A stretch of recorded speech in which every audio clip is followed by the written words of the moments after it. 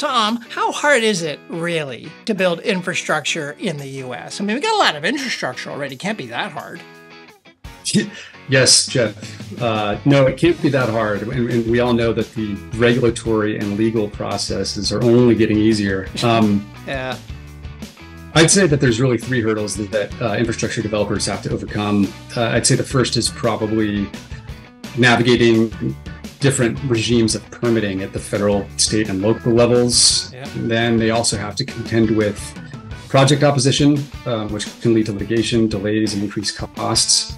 And then finally, um, you know, where are you going to put these projects? Um, next to national parks, what are the property rights associated, easements, rights of way, all of that is, is very difficult to navigate.